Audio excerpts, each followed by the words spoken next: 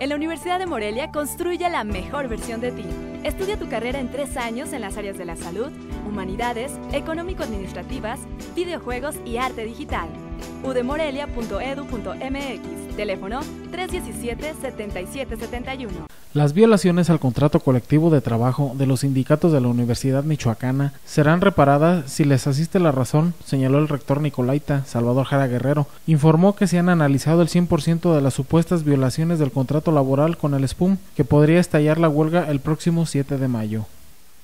Eh, hemos eh, barrido con mucho cuidado ya con el SPUM todas las, las eh, supuestas o reales violaciones eh, hay algunos pendientes menores, eh, realmente son comunicaciones de oficios, eh, repito que prácticamente el 100% está saldado. He dado... Salvador Jara Guerrero agregó que ya se analizan los pendientes con el SUEUM e incluso dijo que se busca reunirse con el líder sindical Eduardo Tena.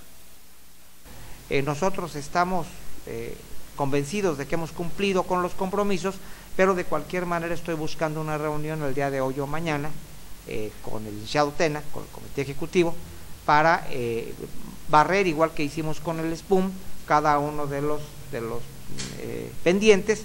Y el rector Nicolaita dijo que las demandas serán analizadas para poder ser atendidas y evitar movimientos de huelgas en la Universidad Michoacana de San Nicolás de Hidalgo. Con información de Miguel Ángel Sánchez, informa Cuasar TV.